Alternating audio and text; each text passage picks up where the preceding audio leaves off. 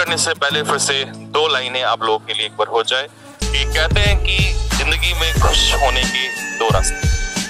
ज़िंदगी में खुश होने के दो रास्ते हैं।